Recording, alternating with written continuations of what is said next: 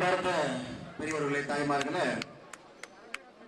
கோவில்பட்டியில எழுச்சி மிகுந்த என் மண் என் மக்கள் யாத்திரையில மழையை கூட பொருட்படுத்தாமல் நம்மோடு கிட்டத்தட்ட ஒரு மூன்றரை மணி நேரமாக ஒன்றரை மணி நேரம் தாமதமாக இங்கே வந்திருக்கின்றோம் உங்களுடைய எழுச்சியா எல்லா இடத்திலுமே நம்முடைய குழுவை நிறுத்தி உங்களுடைய அன்பை பரிமாறி பாரத பிரதமர் நரேந்திர மோடி அவர்களுக்கு உங்களுடைய நம்பிக்கையை தெரிவித்து இந்த கொடியெல்லாம் கொஞ்சம் கீழே இறக்குங்கண்ணா அண்ணா நம்ம பிஜேபி கொடி பார்வர்ட் பிளாக் கொடி எல்லாம் கீழே கொடி வேண்டாம் எல்லா கொடியும் சைந்து கொண்டு போயிடும் மக்கள் பார்க்க நம்முடைய பாரத பிரதமர் நரேந்திர மோடி அவர்களுக்கு உங்களுடைய அன்பை நம்முடைய பாரத பிரதமர் நரேந்திர மோடி அவர்களுக்கு உங்களுடைய அன்பை வெளிப்படுத்தியிருக்கின்றீர்கள் இரண்டு முறை இந்தியாவுடைய பிரதமராக அவருடைய ஆட்சி கட்டளை அமர வைத்து ஏழை உள்ளவர்களுக்கு நல்லதொரு ஆட்சி வழங்கி மூன்றாவது முறையாக நம்முடைய பிரதமர் அவர்களுக்கு ஆட்சி கட்டிலை அமர வைப்பதற்கு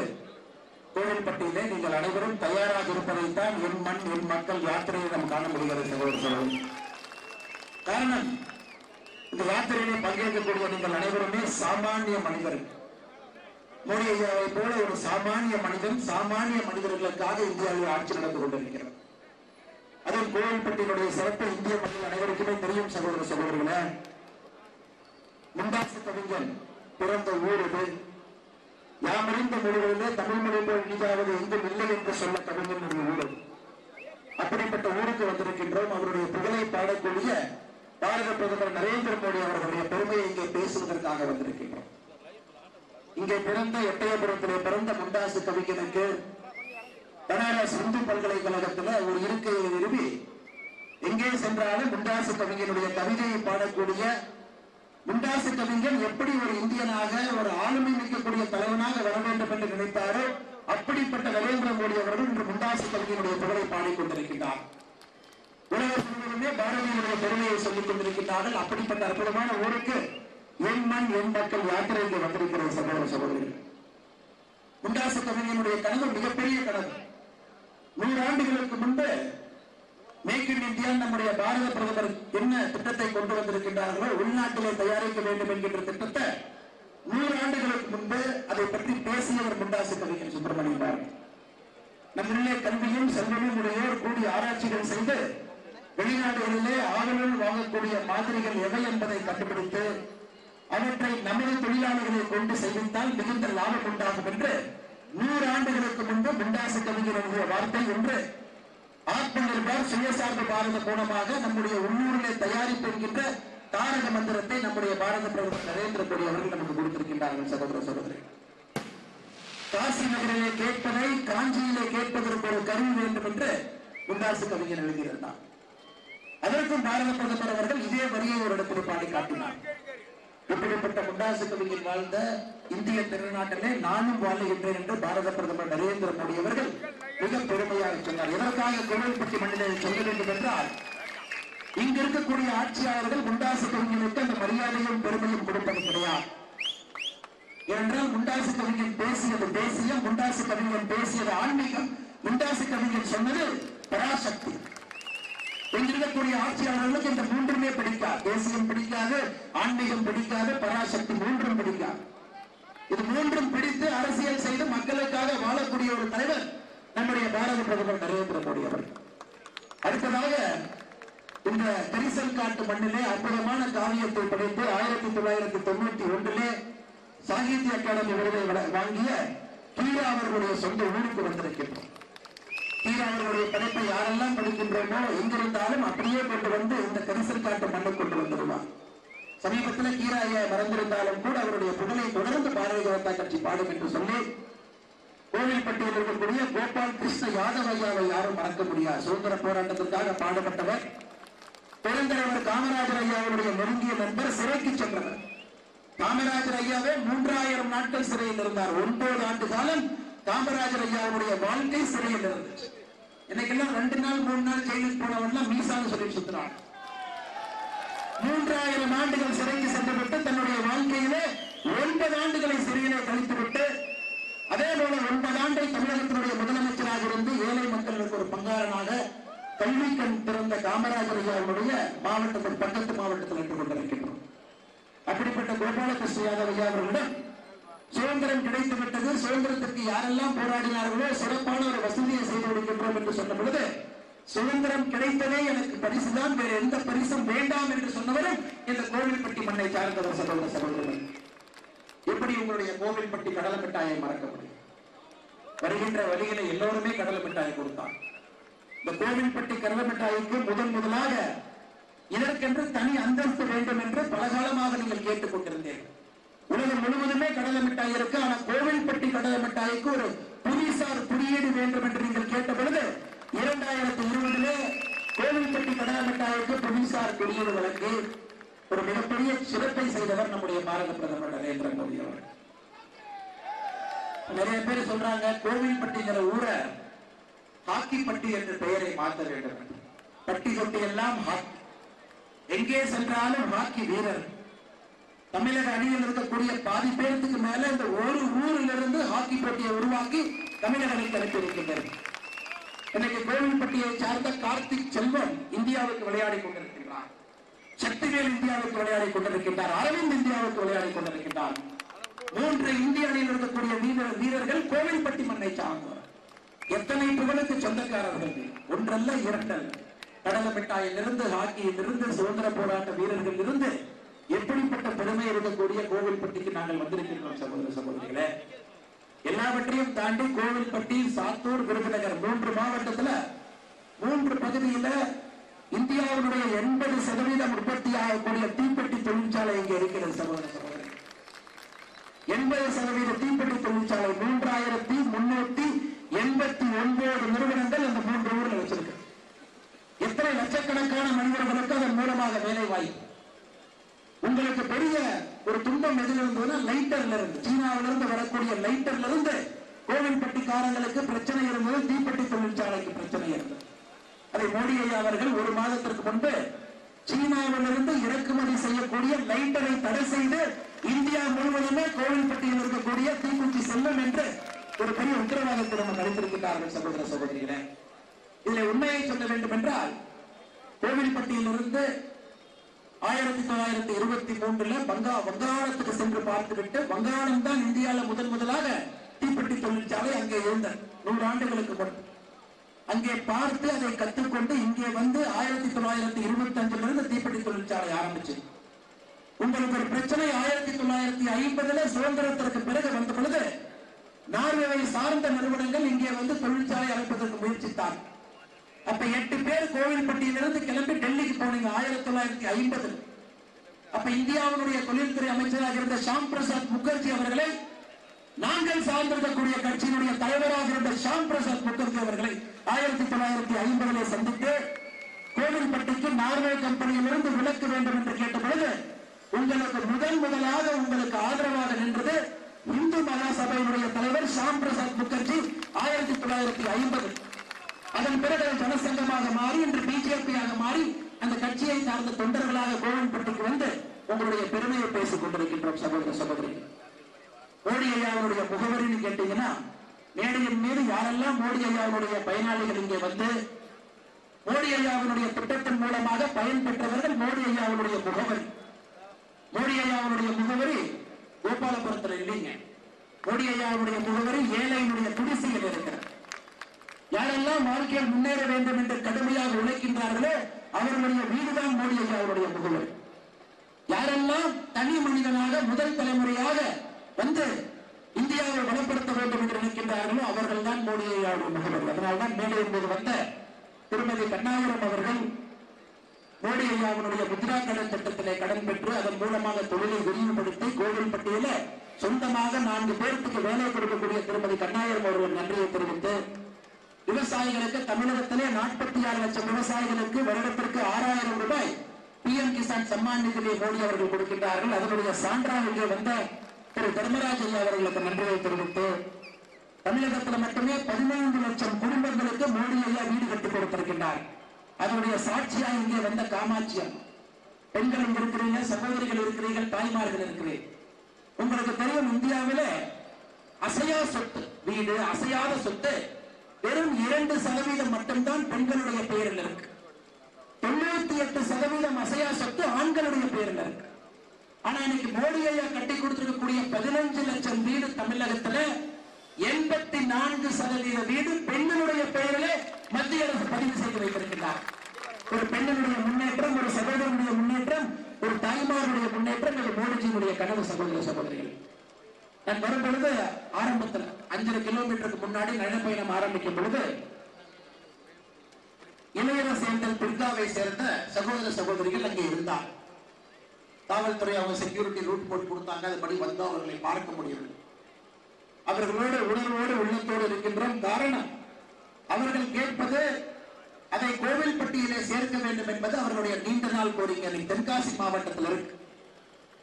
தொடக்க கல்வித்துறை மின்வாரியம் உள்ளாட்சித்துறை எல்லாமே தென்காசி மாவட்டம் ஆனா இங்கிருந்து அவங்க போனாங்கன்னா நூறு கிலோமீட்டர் போகணும் ஆனால் இந்த சகோதர சகோதரிகள் இங்கே வந்திருக்கின்றார்கள் என்று தெரியவில்லை உங்களோடு நாங்கள் இருக்கின்றோம் நிச்சயமாக இதை செய்ய வேண்டும் என்று நாங்கள் திமுக அரசை வலியுறுத்துகின்றோம் காரணம் உங்களுடைய வாழ்க்கை எளிதாக நீங்கள் கோவில்பட்டிக்கு வரணும் எங்கே சென்றாலும் கூட கோவில்பட்டியில் இருப்பது குடிநீர் மாதத்திற்கு ஒரு முறை குடிப்பதற்கு தண்ணி வருது ரெண்டு டைம் தான் மாசத்துக்கு வருது மோடி ஐயாவுடைய கனவு ஒரு ஒரு வீட்டுக்கும் கூட குடிக்கின்ற நீர் என்பது டைப்பட வர வேண்டும் என்பது நம் மோடி ஐயாவுடைய கனவு இரண்டாயிரத்தி பதினெட்டுல ஆகஸ்ட் பதினைந்தாம் தேதி திட்டத்தை ஆரம்பித்தார் ஜல் ஜீவன் திட்டம் இல்லந்தோறும் குடிநீர் என்கின்ற திட்டம் இன்னைக்கு தமிழகத்துல அறுபத்தி ஆறு சதவீத வீடுகளுக்கு வீட்டு வாசல்ல பைப்பு போட்டு கொடுத்தாச்சு ஆனால் இந்த திறமற்ற ஊழல் திமுக அரசு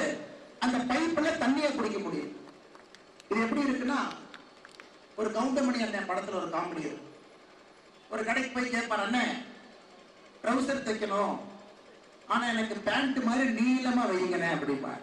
ஏன்னா பேண்ட்டுக்காக காசு காசு கொடுக்க வேண்டாம் ட்ரௌசர் காசு மட்டும் கொடுத்துடலாம் அதுபோல் மோடி ஐயா கொடுக்கக்கூடிய திட்டத்திற்கு அந்த திட்டம் மட்டும் அதிகப்படுத்தி தாங்கள் செய்ததாக விளம்பரம் தேடி கொண்டிருக்கக்கூடிய இந்த ஊழல் திமுக திறனற்ற அரசு ஒரு மனிதனுடைய உரிமையாக இருக்கக்கூடிய ஒரு தண்ணீரை கொடுக்க முடியாமல் தத்தளித்துக் கொண்டிருக்கிறார் பல்லாயிரம் கிலோமீட்டர் தூரத்தில் இருக்கக்கூடிய மத்திய அரசு மோடி தமிழக மக்களுக்கு அறுபத்தி ஆறு சதவீத வீடுகளுக்கு பைப்பு போட்டு கொடுத்தார் பைப்பை தொடர்ந்தால் வரக்கூடிய தண்ணீர் அவங்களால் முடியல காரணம் கர்ம வீரர் காமராஜர் ஐயா இருந்த பொழுது ஆயிரத்தி தொள்ளாயிரத்தி ஐம்பத்தி நான்குல இருந்து அறுபத்தி மூன்று வரை பன்னிரண்டு டேம் கட்டினார் பன்னிரண்டு டேம் இந்தியாவிலே பன்னிரண்டு டேம் கட்டிய ஒரே ஒரு முதலமைச்சர் கர்ம வீரர் காமராஜர் ஐயா பாசனத்தை விரிவுபடுத்தினாரு வாய்க்கால தூர்வாரினாரு எல்லா இடத்திலையும் தண்ணி கொண்டு வந்தார் திராவிட முன்னேற்ற கழகத்தை பொறுத்தவரை இவர்கள் கொடி கொண்டு வருகின்ற தண்ணியின் பெயர் டாஸ்மார்க் குடிக்கிற தண்ணி எங்கேயுமே இல்லை ஆனா டாஸ்மார்க்ல பீர் நிரம்பி வழி எல்லா இடத்துலையும் டாஸ்மார்க் கடைகளை திறந்து வைத்திருக்கிறார் அப்படிப்பட்ட திருநற்ற திமுக அரசு இங்க நமக்கு ஒரு கவுன்சிலர் இருக்கிறாங்க அண்ணன் விஜயகுமார் அவர்கள் இருபதாவது வாழ் அவர்களுடைய அந்த முகநூல் அந்த சோசியல் மீடியா வீடியோ பார்த்து எம்பியாக இருக்கக்கூடிய சகோதரி கனிமொழி கருணாநிதி அவர்கள் கீதா ஜீவன் எல்லாம் இருக்கும் பொழுது தன்னுடைய குடிநீர் பிரச்சனையை பற்றி பேசும் பொழுது கீதா ஜீவன் அவர்கள் பாரதிய ஜனதா கட்சியினுடைய கவுன்சிலரை நம்முடைய விஜயகுமார் அவர்களை தகாத வார்த்தையில திட்டார் ஏன்னா கீதா ஜீவனுக்கு தெரியாது அவர்கள்லாம் பணக்காரர்களுடைய செல்வ சீமந்தனில் பிறந்தவர் அப்பா திமுகவுடைய மாவட்ட செயலராக மந்திரியா இருந்தாங்க கீதா ஜீவனுடைய தம்பி மேயரா இருக்கிறாங்க கீதா ஜீவன் அமைச்சரா இருக்கிறாங்க தமிழ்நாட்டில் இருக்கக்கூடிய அரசு பள்ளிகளுக்கு போனீங்கன்னா அழுகிய முட்டையை தான் கீதா ஜீவன் போடுவார் அவர்களுக்கு ஏழை மக்களுடைய கண்ணீர் எப்பொழுதுமே தெரிவதற்கு வாய்ப்பு கிடையாது செல்வ சீமந்தத்திலே பிறந்தவர் அவர் தங்க தட்டிலே சாப்பிடுகின்ற கீதா ஜீவனுக்கு எப்படி கோவில்பட்டியிலே அவர் இருக்கக்கூடிய மாவட்டத்துல தண்ணிக்கு கஷ்டப்படுறாங்கன்னு பாரதிய ஜனதா கட்சியினுடைய கவுன்சிலர் போய் முறையிட்டா தகாத வார்த்தையில எடுத்துக்கிட்டார் எப்படி தெரியும் ஒரு சாமானிய மனிதனுடைய வழி திராவிட முன்னேற்ற ஆட்சியில கோபாலபுரத்திலிருந்து கீதாஜியினுடைய குடும்பம் வரை உழைக்காமல் இன்னொருடைய உழைப்பை சுரண்டி பிழைக்கக்கூடிய கூட்டம்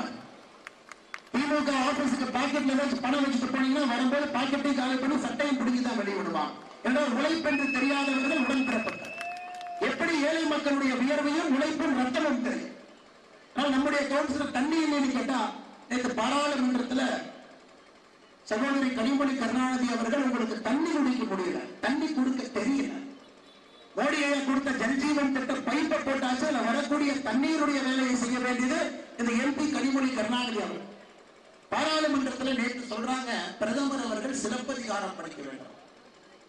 பிரதமர் அவர்கள் சிலப்பதிகாரம் படிச்சா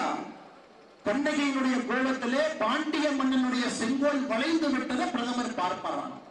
நேற்று அவங்க பேசுறது சொல்ற பாருங்க கனிமொழி கருணாநிதி அவர்கள் பாராளுமன்றத்தில் பேசுகின்றார் நம்முடைய பாரத பிரதமர் அவர்கள் சிலப்பதிகாரத்தை படித்து கண்ணகையினுடைய கோபத்தினால் பாண்டிய மன்னனுடைய செங்கோல் எப்படி வளைந்தது என்பதை பிரதமர் புரிந்து கொள்ள வேண்டும் என்று சொன்னார் அதற்கு நான் ஒன்று சகோதரி கனிமொழி கருணாநிதி அவர்களுக்கு சொல்லுகின்றேன் முதல்ல சகோதரி நீ பெரியார் அவர்களை படி நீ பெரியார் பெரியார் யாரை தூக்கி பிடித்துக் கொண்டு தமிழகத்தில் சுத்தி கொண்டிருக்கின்றீர்களோ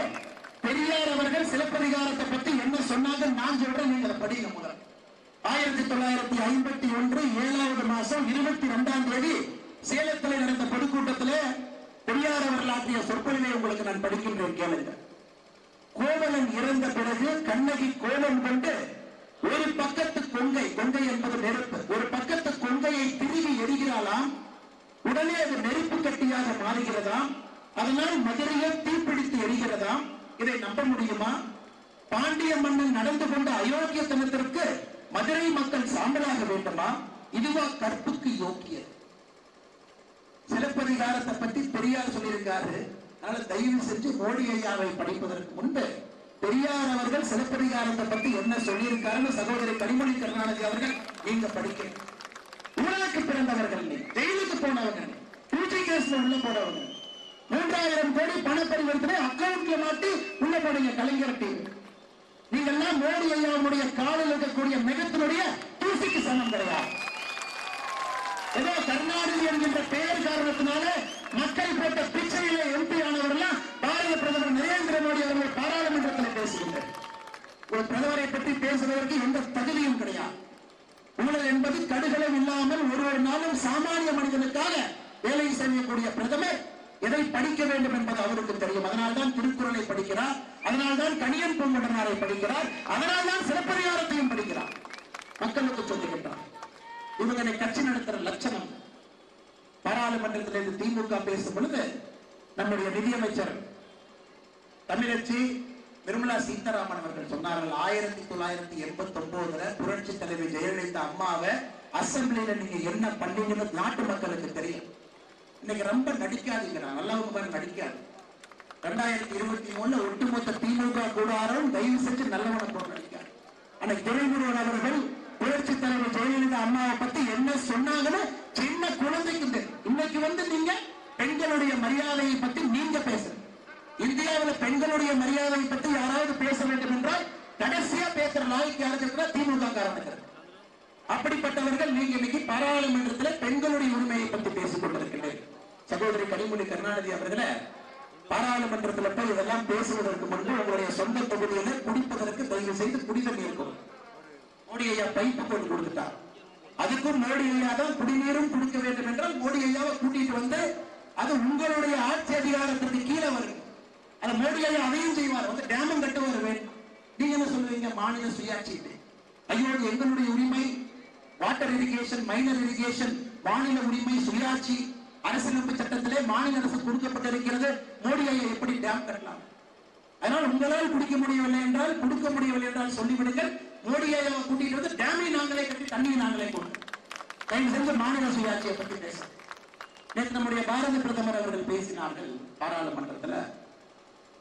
எனக்கு மு க ஸ்டாலின் அவர்கள் அப்பப்ப கடிதம் எழுதுறார் கச்சத்தீவை மீட்டு கொடு கச்சத்தீவை மீட்டு அதுக்கு நம்முடைய பாரத பிரதமர் அவர்கள் சொன்னார் சில நண்பர்களுக்கு புரிவது இல்லை கச்சத்தீவு கொடுத்ததே உங்க அப்பா தான் புரிய மாட்டேங்குது பையன் இன்னைக்கு எனக்கு உட்கார்ந்து இங்கு பேனால் எழுதிட்டு கச்சத்தீவை மீட்க வேண்டும் என்று சொல்வதற்கு தமிழகத்திலே ஒரு அரசியல் கட்சிக்கு உரிமை இருக்கிறது என்றால் அது பாரதிய ஜனதா கட்சிக்கு மட்டும்தான் நம்ம உரிமை கச்சத்தீவை எப்படி கொண்டு வருவது என்று எங்களுக்கு தெரியும் தயவு செஞ்சு நீங்க பாராளுமன்றத்துல ரொம்ப நடிக்காதீங்க திமுக காரங்களே ரொம்ப நடிக்காதீங்க சாயம் கொடுத்து விட்டது இந்திய அளவிலே உங்களை பார்த்துக் கொண்டிருக்கின்றார்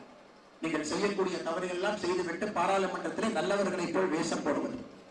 மக்களுக்கு எந்தவித வேலையும் செய்யாமல் பாராளுமன்றத்தில் காந்தியாவுடைய அவருடைய சிலைக்கு வெளியில் உட்கார்ந்து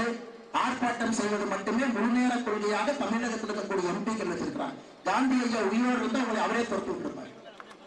இன்னைக்கு அவர் உயிரோடு இல்லாதனால இந்த காட்சியெல்லாம் பார்க்க வேண்டிய துரதிருஷ்டம் மகாத்மா காந்தி ஐயாவுக்கு இருக்கிறார் இன்னைக்கு தமிழகத்தை முதன்மை மாநிலமாக மாற்றுகின்றேன் முதன்மை மாநிலமாக மாற்றுகின்றேன் பட் அங்கிருந்து முத்துராமலிங்க தேவரையா நம்முடைய கடவுள் நேரடியாக நம்மளை பார்த்துட்டு இருக்கான் வரும் பொழுது வீரன் முத்து போன ஐயா அவர்களுக்கு மரியாதை செலுத்தி குளத்திலே அவருக்கு தபால் தலையை வெளியிட்டவர் நம்முடைய பாரத பிரதமர் நரேந்திர மோடி அவர் வீரன் சுந்தரலிங்கன் ஐயா அவர்களுக்கு மரியாதை செலுத்தி வீரவாடிய கட்டப்பட்ட ஐயா அவர்களுக்கு மரியாதை செலுத்தி தேவரையா அவர்களுக்கு மரியாதை செலுத்தி வந்திருக்கின்றோம் சகோதரர் எல்லாரும் நம்மளை பெரியவங்க எல்லாம் பார்த்துட்டு இருக்காங்க ஆனால் இவர்கள் வாழ்ந்த மண்ணிலே இன்னைக்கு திமுக ஆட்சி செய்வது என்பது கேவலத்திலும் கேவலம் இந்த மகான்கள் வாழ்ந்த மண்ணில திமுக இன்று ஆட்சி செய்து கொண்டிருக்கிறார் நம்பர் ஒன் மாநிலமாக மாற்றுகின்றோம் மாற்றுகின்ற எதிரியா மாற்றி வச்சிருக்கிறீங்க குடிப்பதிலே நம்பர் ஒன் மாநிலம் கடன் வாங்குவதிலே நம்பர் வெக்கமாக இல்லையா முதலமைச்சர் மு க ஸ்டாலின் அவர்களே உங்களுக்கு ஏழு ஏழு லட்சத்தி ஐம்பத்தி மூன்றாயிரம் கோடி தமிழகத்தினுடைய கடன் இந்தியாவுடைய கடன் வாங்கிய மாநிலத்திலே முதல் ஆளாக நாம் இருக்கின்றோம் ஒரு குடும்ப யாருன்னா ஒரு குடும்பத்தினுடைய குடும்பம் சொன்னா திமுக காரணம் கோவம் நம்ம குடும்ப தலைவி நம்மை பொறுத்தவரை குடும்ப தலைவி தமிழகத்திலே மூன்று கோடியே அஞ்சு லட்சம் பேர் ஏன்னா அத்தனை ரேஷன் கார்டுல தலைமையா ஒருத்தவங்க இருக்கான் திமுகவினுடைய மகளிர் உரிமை தொகையில குடும்ப தலைவினா எழுபது லட்சம் பேர் இதே அநியாயமா இருக்கு மகளிர் உரிமை தொகை என்பது உரிமையாக ஒரு ஒரு மகளிருக்கு குடும்ப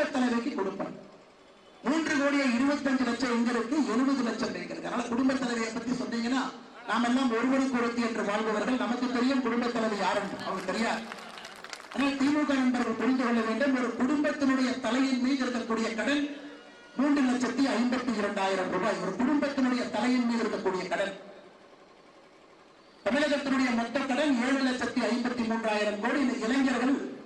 வருகின்ற வழிய பெட்டிஷன் நம்ம கொடுக்கிற எல்லா பெட்டிஷனும் வேலை வாய்ப்பு வேலை வாய்ப்பு வேலை வாய்ப்பு டாஸ்மார்க் மூடுங்க டாஸ்மார்க் மூடுங்க டாஸ்மார்க் மூடுங்க தர்மவீரர் காமராஜர் ஐயா அவர்களும் மோடி அவர்களும் என்ன சொன்னாங்கன்னா படி படி படி என்றார் ஸ்டாலின் அவர்கள் என்ன சொல்றாருன்னா குடி குடி குடி என்று சொல்றார் இந்த ரெண்டு தலைவர்களுக்கு இதான் வித்தியாசம் தர்மவீரர் காமராஜர் ஐயா மூடப்பட்ட ஆறாயிரம் பள்ளிகளை திறந்தார் புதிதாக பன்னிரெண்டாயிரம் பள்ளிகளை திறந்தார் அதாவது ஆயிரத்தி தொள்ளாயிரத்தி ஐம்பத்தி இருந்து அறுபத்தி மூன்று வரை தமிழகத்திலே பதினெட்டாயிரம் பள்ளிகள் திறக்கப்பட்டது பதினெட்டாயிரம் பள்ளி ஒன்பது வருஷம் அதனாலதான் கர்மவீரர் காமராஜர் ஐயாவை கல்வி கண் திறந்த காமராஜர் என்று சொல்லுகின்றோம் மோடி ஐயா பீரியட்ல பதினோரு மருத்துவக் கல்லூரி தமிழகத்திற்கு ஐஐடி அதிகப்படுத்தணும் ஐஐடி அதிகப்படுத்தணும் பல்கலைக்கழகத்தை அதிகப்படுத்தணும் ஐம்பத்தி நான்காயிரம் இருந்த மெடிக்கல் சீட்டை தமிழகத்துல ஒரு லட்சத்தி ஆறாயிரம் சீட்டு பண்ணியிருக்கு எப்படி கர்ம வீரர் காமராஜர் ஐயா ஆரம்ப கல்விக்கு முக்கியத்துவம் கொடுத்தாரோ நம்முடைய மோடி ஐயா அவர்கள் உயர்கல்விக்கு முக்கியத்துவம் கொடுக்கிறார் ரெண்டு பேரும் பாத்தீங்கன்னா ஒரே ரத்தம் ஒரே மண் ஒரே சதை ஒரே நாடி ஒரே நரம் அதனால்தான் படி படி படி என்கின்றார் முதலமைச்சர் குடி குடி குடி அதில் முன்சாமி என்ன முன்சாமி என்ன சொல்றாரு குடிகாரன் மட்டும் சொன்னீங்கன்னா கோவம் வந்துடும் மதுக்குரியர் காவல்துறை நண்பர்கள் இருந்து பார்த்துட்டு இன்னைக்கு டாஸ்மாக் இருப்பதற்கு சட்டம் ஒழுங்கு சந்தி சிரித்து கொண்டிருக்கிறது இன்னைக்கு முத்துசாமி என்ன சொல்றாருன்னா அந்த நூத்தி எண்பது எம்எல் கோட்டர் பாட்டில் வாங்குறதுக்கு ஒரு மதுப்பிரியர் போய் கட்டிங் போடுறதுக்கு அரை மணி நேரம் காத்திருந்து தமிழகத்திற்கு அது மிகப்பெரிய வருவாய் இழப்பு ஏற்பட்டு அதனால் நாங்களே அந்த நூத்தி எண்பது எம்எல்ஏ சாசே பாக்கெட் போட்டு தொண்ணூறு எம்எல் தொண்ணூறு எம்எல்ஏ வித்தரும் இந்த ஜிக் ஷாம்பு மாதிரி டாஸ்மாக் கடையில ஒரு கயிறு கட்டி விட்டுறோம் அந்த சாசா பாக்கெட்டை நீங்க போய் உருவிக்கிட்டு பாக்கெட்ல போட்டீங்கன்னா எவ்வளவு சூப்பர் அப்படின்னு நீங்க இன்னைக்கு ஐயாயிரத்தி ஐநூறு டாஸ்மாக் கடையை திறந்ததற்கே தமிழகத்திலே சட்டம் ஒழுங்கு சந்தி பிரித்துக் கொண்டிருக்கிறது காரணம் நேர்மையாக இருக்கக்கூடிய நம்முடைய காவல்துறையுடைய கையை கட்டி போட்டு விட்டு வேலையை செய்ய என்று சொன்னால் காவல்துறை எப்படி வேலை செய்வார் காவல்துறையை ஊழியத்துறையாக மாற்ற வேண்டும் என்று திமுக கிளம்பியிருக்கு இதுல தொண்ணூறு எம்எல் சாராயத்தை பாக்கெட்ல போட்டு விட்டீங்களா அப்ப இந்த பெண்கள்லாம் ரோட்ல நடமாட வேண்டாமா ஆறு மணிக்கு மேல பெண்கள் அந்த ரோட்ல நடந்து போக வேண்டாமா தாய்மார்கள் வேலையை முடித்துவிட்டு வீட்டுக்கு இரவுல பயணம் செய்து வர வேண்டாமா அரசு பேருந்துல பயணம் செய்ய வேண்டாம் இப்படிப்பட்டவர்கள் தமிழ்நாடு இதுல மா சுப்பிரமணியன் என்ன சொல்றார் சுகாதாரத்துறை அமைச்சர் அதாவது மதுவுக்கு அடிமையாகி அரசு நடத்தக்கூடிய மறுவாழ்வு முகாம்ல போய் அட்மிட் ஆகி திரும்பி வந்தீங்கன்னா அரசு கிடையாது ஏங்க ஆகவே லட்சக்கணக்கில் டிஎன்பிஎஸ்சி படிச்சுட்டு இருக்கிறான் அதை நேற்று ஒரு இடத்துல சொன்னேன் இவனை அப்பா அம்மா என்ன சொல்லுவாங்கன்னா ஒழுக்கமா படிக்கிற பையனை பார்த்துட்டே தருதல நீ அஞ்சு வருஷமா முக்கி முக்கி டிஎன்பிஎஸ்சி படிச்சு நீ எப்ப கலெக்டர் ஆக பக்கத்து வீட்டுல தம்பியை பாரு குடிச்சிட்டு ரோடு உருண்டு வேட்டி எல்லாம் கலந்து மறுவாழ்வை சிகிச்சை முகாம் போய் அரசு வேலை வாங்கிட்டான் சொல்லுவாங்க சொல்லுவாங்க சொல்லுவாங்க இப்படிப்பட்ட அமைச்சர்கள் எல்லாம் எந்த பதவிக்கும் இல்லாதவர்கள் தமிழகத்தில் சுகாதாரத்துறை அமைச்சர் அதனாலதான் ஒன்றரை வயசு குழந்தைக்கு கை வெட்டப்பட்டு சிகிச்சையில அந்த குழந்தை இறக்குது பிரியாவை போன்ற கால்பந்தாட்டு வீராங்கனை அரசு மருத்துவமனையில ஓமந்தூரால் அட்மிட் ஆகி அந்த பாப்பா இறக்குது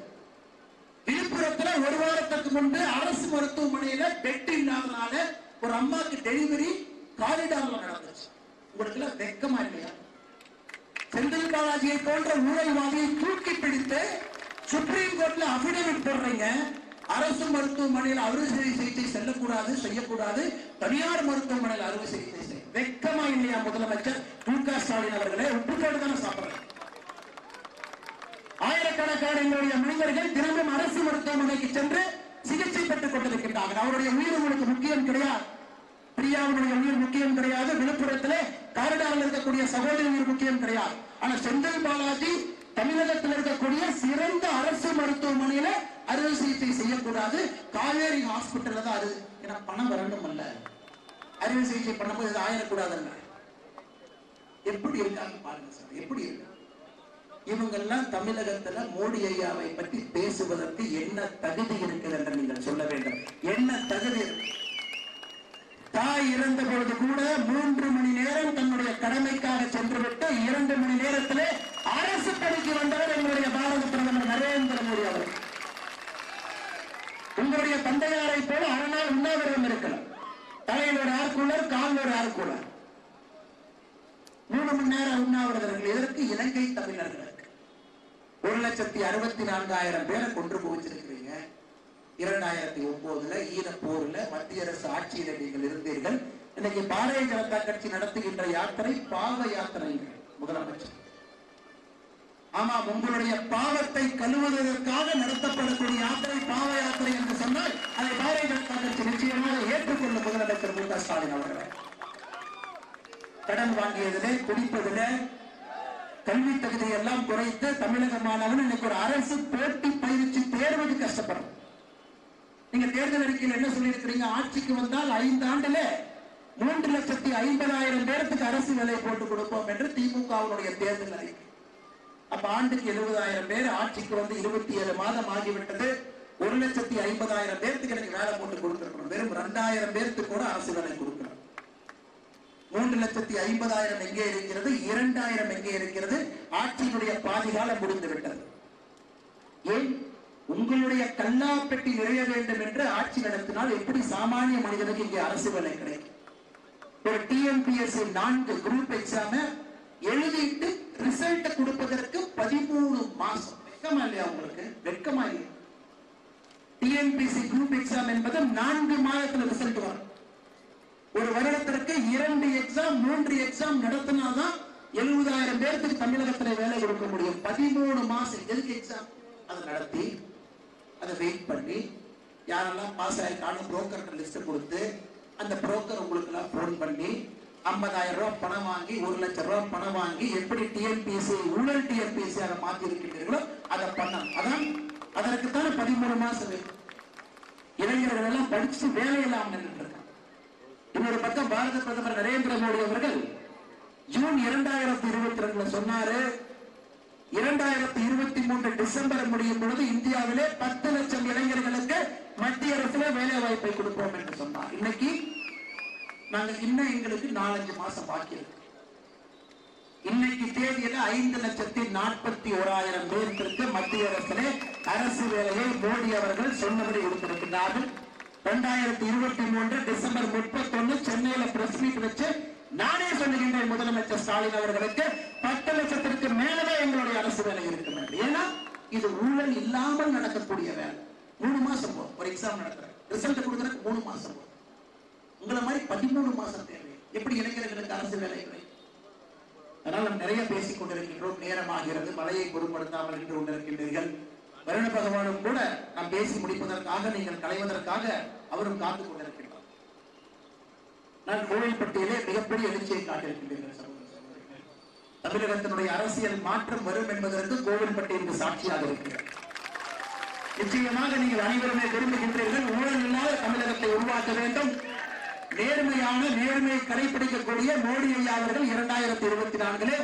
ஆட்சிக்கு வர வேண்டும் என்பதும் தெளிவார் தெளிவார் அதுதான் எங்களுக்கு வேண்டும்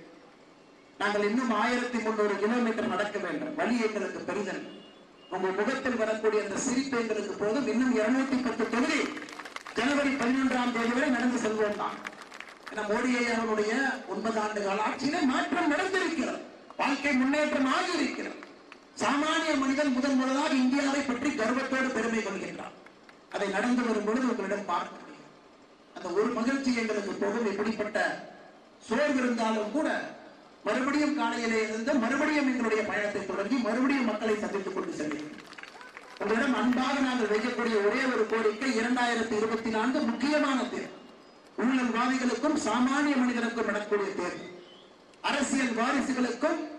ஒரு டீ கடை மாஸ்டருடைய பையனுக்கும் நடக்கக்கூடிய தேர்வு ஊழல் ரத்தத்தில் கலந்தவருக்கும் சேவை ரத்தத்திலே இருப்பவருக்கும் நடக்கக்கூடிய தேர்வு தேசியத்திற்கும் பிரிவினைவாதிகளுக்கும் நடக்கக்கூடிய தேர்வு ஆனால் நிச்சயமாக இரண்டாயிரத்தி இருபத்தி நான்கில் உங்களுடைய அன்பு ஆதரவும் நம்முடைய பாரத பிரதமர் நரேந்திர மோடி அவர்களுக்கு இருக்கும் அவர்கள் கருத்தை வலுப்படுத்தி விடுவதற்கு எனக்கு நம்பிக்கை இருக்கிற சகோதர சகோதரிகளே இந்த அற்புதமான எண்மண் எண்மக்கள் எழுச்சி யாத்திரை நடத்தி காட்டிய அந்த மாவட்டத்தினுடைய ஆற்றல் மிகுந்த நம்முடைய தலைவர் வெங்கடேசன் சென்னகேஸ்வரன் அவர்கள் அவருடைய தந்தையாரை பற்றி தெரியாதவர்கள் கோவில்பட்டியிலே இந்த மாவட்டத்தில் இருக்க முடியாது ஐந்து ரூபாய் டாக்டர் என்று பெயர் எடுத்தவர்